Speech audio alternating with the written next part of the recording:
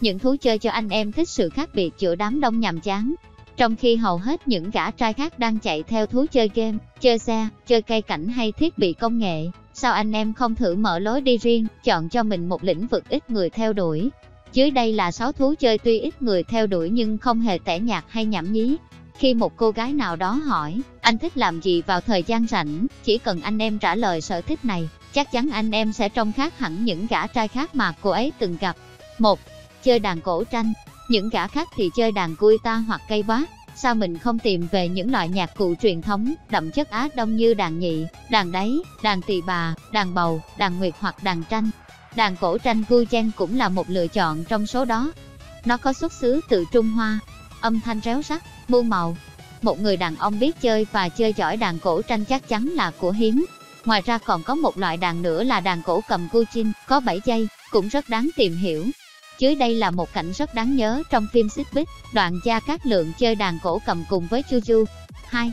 Sưu tầm đĩa than một thú chơi dành cho những tâm hồn hoài cổ, âu sâu, bởi đĩa than hay đĩa vai n chính là biểu tượng cho thời hoàng kim của ngành thu âm thế giới trong thế kỷ 20. Muốn chơi đĩa vai n hiển nhiên phải đầu tư cả máy hát đĩa than, bỏ nhiều tiền của lẫn công sức để săn tìm ở những thị trường ngách, phải am hiểu về cách bảo quản và sửa chữa. Nhưng chính những điều này sẽ khiến các cô gái cảm thấy anh em là một người đàn ông thú vị, có thế giới riêng và nhiều điều bí ẩn, đáng tìm hiểu. Hãy thử nghe một bản nhạc được chơi trên máy hát đĩa than nhé. 3. Chơi cờ vây. Khi rảnh, đi cà phê với bạn bè, thay vì mỗi đứa ôm một cái điện thoại của riêng mình, sao không thử bày ra bàn cờ vây rồi thi tài. Những quân cờ bắt mắt chắc chắn sẽ thu hút sự chú ý của người khác, khiến anh em có cơ hội gặp gỡ trò chuyện với nhiều người hơn. Tôi không có ý nói anh em nên chơi cờ vây để gây chú ý, nhưng chính sự chú ý lại là một hiệu ứng phụ khi anh em theo đuổi một thú chơi ít người theo đuổi. Và điều đó hoàn toàn ổn. Chơi cờ vây nói riêng và chơi một số board game nói chung cũng là cách để trở nên khác biệt giữa đám đông.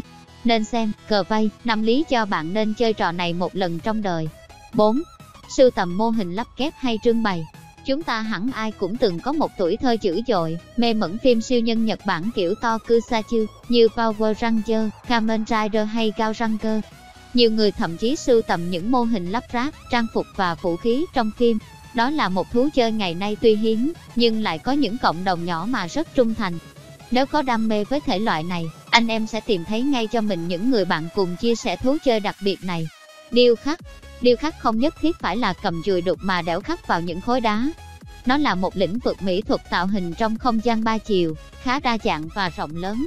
Nên xem 15 sở thích hái ra tiền mà một người đàn ông nên theo đuổi. Cách thức, thao tác của anh em sẽ thay đổi tùy vào chất liệu có thể là đá, cổ, kim loại, thủy tinh, gốm, đất sét, thậm chí là nước đá. Dưới đây là một video mà tôi tin khi xem xong anh em sẽ cảm thấy hứng thú với môn này ngay. 6. Làm dai Gia là gì? Gia là một tư liệu xuất bản độc lập hay một quyển tạp chí tự làm.